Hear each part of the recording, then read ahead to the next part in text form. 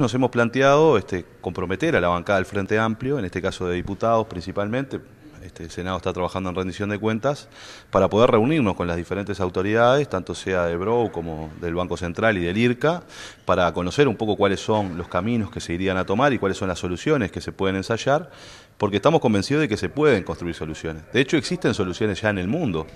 En Estados Unidos hay 250 bancos que trabajan en 29 estados en Norteamérica con empresas que producen marihuana, sea medicinal, industrial o en los diferentes este, aspectos. Por tanto, el Uruguay tiene que defender la posición que ha llevado adelante el Estado uruguayo, que es una posición soberana y que implica justamente que tenemos una ley que regula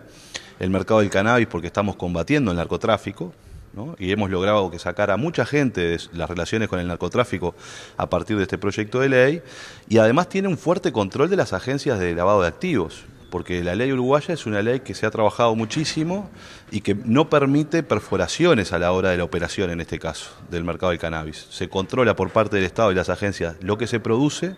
cuánto se produce, cómo se distribuye y con quién se comercializa. Por tanto, lo que nosotros tenemos que tratar de defender en el exterior es que aquí no estamos en presencia del narcotráfico. Estas cuentas no son cuentas de narcotráfico, son cuentas de empresas legales en el Uruguay que están haciendo una inversión y que están trabajando en una política de seguridad, por supuesto, porque le estamos sacando un mercado importante al, al, crimen organizado, pero además que tienen que ver con la salud de los usuarios y además tienen también un componente de desarrollo industrial. De hecho, nosotros tenemos industrias en el país que están trabajando en el cáñamo industrial en el hecho Tacuarembó, en el departamento de Tacuarembó tenemos inversiones de ese tipo. Y lo que queremos dar es una señal muy fuerte a la ciudadanía, primero de defender el proyecto de ley, asumir que hay un compromiso de todo el Frente Amplio y de todo el gobierno para encontrarle soluciones a este diferéndum y tratar de justamente que el proceso que hemos iniciado continúe porque creemos que tiene este, efectos positivos en la sociedad uruguaya.